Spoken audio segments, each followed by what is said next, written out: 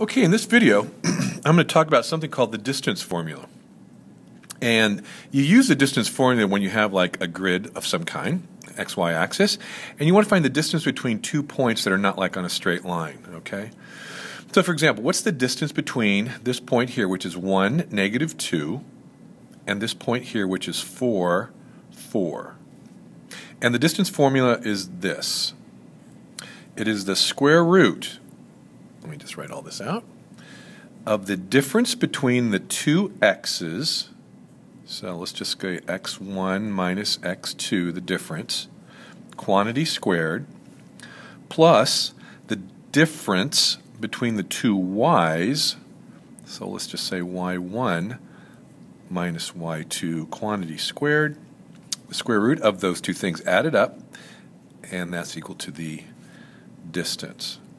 Okay, now let's go ahead and figure out what this particular distance is, and then I'm going to make a really cool connection for you guys. So let's look at my x's. Uh, we'll just make this one the x1 and the y1. Okay, so x sub 1 is 4 minus x sub 2, which is down here, which is 1, quantity squared. Let's put this all under the radical. That's my first step. That's my second step plus the difference between the two y's. So again, it's y sub 1, which is 4, minus y sub 2, which is a negative 2. All right. And then that should be equal to that distance. Let's go ahead and work this out. I'm going to get the square root of 4 minus 1 is 3 squared plus 4 minus a negative 2 makes that a positive, so that's going to be 6 quantity squared is equal to the distance. Fourth step, that's going to be the square root of 9 plus 36. Again, that's equal to my distance, and that's going to be, last step, the square root of 45, because 9 plus, uh, 36.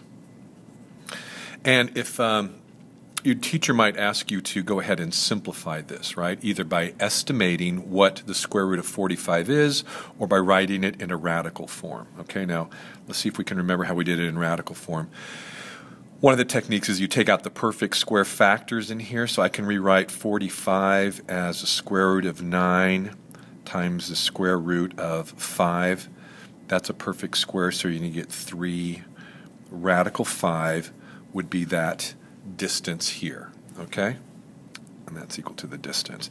The other way of doing this is you'd have to guesstimate what the square root of 5, or actually what the square root of 45 is. And I'll show you a really cool technique. Here's 45. And what I do is I ask myself, what are the two perfect squares on either side of 45? Well, I know that one perfect square is the square root of 36, right? And that would just be 6. I know the other perfect square is a square root of 49, right? And that's just 7.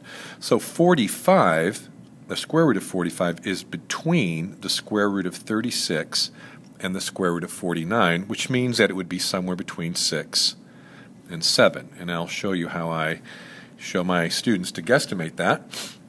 Um, I say basically the distance between 36 and 49 is 13. The distance between 36 and 45 is 9. So the square root of 49 is basically 6 and 9 thirteenths. Okay, and that would be like an approximate answer. And if you go ahead and use your calculators, you see that's, that's about right. And if you can reduce 9 thirteenths, that's fine in your own head. Now I want to show you something else with this distance formula. Okay. Let me just go ahead and recreate this exact same problem once again. So we had x and y axis. We had 1, negative 2. So there is that one point. 1, negative 2. We also had 4 and 4. So 1, 2, 3, 4, 1, 2, 3, 4. So there is 4, 4 and we're trying to get that distance, okay? So let's go ahead and look at that. What if I forgot the distance formula? What if you just couldn't remember it? Well, I want to show you something. You can actually make this a right triangle. And if you can make it a right triangle, remember you can use the Pythagorean theorem, which is a squared plus b squared is equal to c squared. In other words, this side squared plus this side squared, oop, shouldn't have put the square there. That side plus that side, right, would be equal to that side squared, which is really the hypotenuse, okay? So let's go ahead and how would I, but you're asking yourself, well, wait a minute, I don't know what this distance is, but you really do, don't you? A is really just the distance between x here and this x here. So it's just 4 minus 1. And if I square that, I'll go ahead and do that. And then it's the, well, that didn't look too good. And then I would add the, the b, right, which is just the difference between what, 4 and negative 2. 4 minus negative 2, and then I squared that, and that should be equal to c squared. This should be starting to look familiar to you, right? If I wanted to solve for just the distance c, I'll take the square root of both sides, and look what you get. 4 minus 1 squared plus 4 minus negative 2 squared. Oh, put that up there, squared. And there